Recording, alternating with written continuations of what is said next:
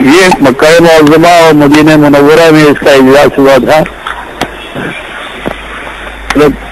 علامہ عبدالستار خان نیازی اور شاہ احمد نورانی وغیرہ یہ سارے لوگ تھے، وہاں ورلڈ اسلامک مشن کا اجلاس ہوا تھا۔